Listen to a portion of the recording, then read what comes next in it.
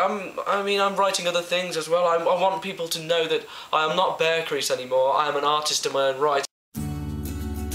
Good times for a change. See the luck I've had can make a good man turn bad. So please, As many of you will know, I uh, wrote a tell all about the uh, Bear Creases. Uh, you know, uh, no expenses spared, no stone left unturned, and it angered some people, but it showed how good of an artist I am, really. I read his book. If you can call it a book. time. Shows my ability to condense all that information and all those happenings into a reasonably priced novel at 9.99 available on shelves now. Let me get what I want. Fuck corn, fuck any kind of vegetable. All I eat now is meat, literally, it's like three times a day. Just just chicken or ham or meat.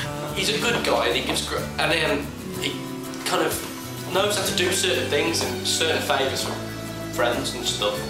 Back then, back in the days of yore, I had a bit of a go at Steve for being a vegetarian, and now I'm reformed and have the light of God in my life, I can tell you that that was entirely justified, because you can see in the Bible very clearly that anyone who is a vegetarian also eats the vaginas of old unmarried women, which the good Lord says is a terrible, terrible thing to do, because after all, uh, his mother Mary was married, however, she was a virgin. And the good Lord does not take very well to virgins being deflowered by lentil eating pussy wipes.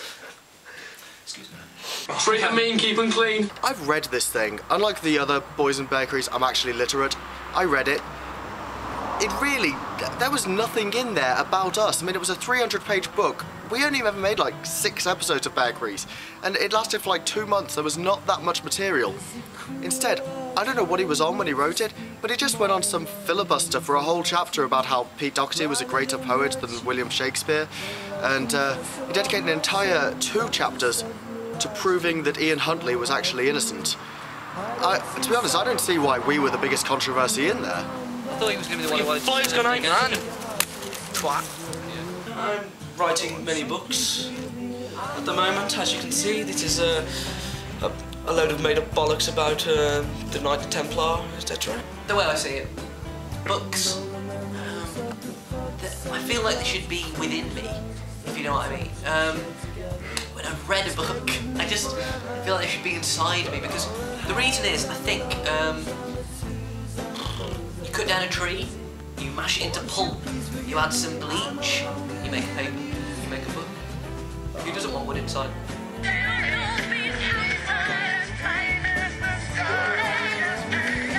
So I have uh, this book coming out by Stephen Willett. It's about a uh, young girl who goes a little bit insane, gets some magical powers, kills everyone in the town and the month.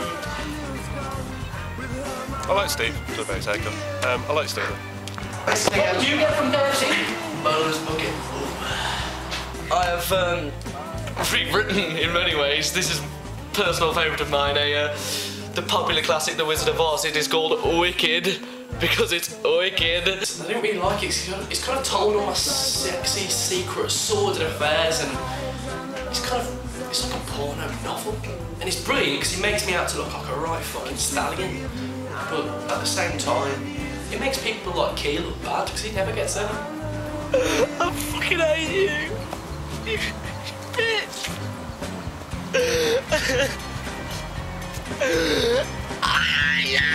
And finally, I have um, I have written many books in my uh, Jane Austen collection. I am uh, I've written Pride and Prejudice uh, about Pride and Prejudice, a book called Sense and Sensibility about sense and sensibility, and uh, a book called Northanger Abbey about Northanger Abbey. Ah, yes, I've heard much about this, you see. I was banished from the land of Crease. Um, I was sent away for, for very unjust measures. I still don't have any reasoning behind why they did that to me. Um, they had no justification for doing what they did, but friends are friends, you know, I, I can never hold a grudge. Honestly. I- I'll, I'll never hold on or, or do anything to, to rival them and beat them into the ground so they're all dead. I wouldn't do that. Friends don't do that.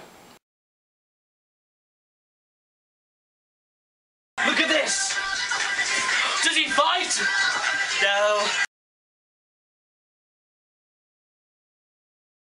I don't really know if it's going to be good for my artistic credibility to, you know, go back to what I was before. I need to be appreciated for what I'm doing now, and uh, yes, it will be nice to see all the people that I uh, pulled my associates a couple of years ago, but artistic credibility, no, no box.